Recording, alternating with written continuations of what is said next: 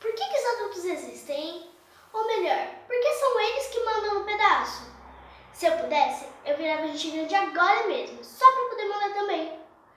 Eu já tô cansada de ter hora para dormir, hora para acordar, hora para tomar banho, tempo regulado na internet, tempo regulado na televisão. Não pode isso, não pode aquilo, não pode, não pode, não pode. Eu já tô cansada desse tal de não pode. Poxa, como é que eu pude perder a festa da turma da escola?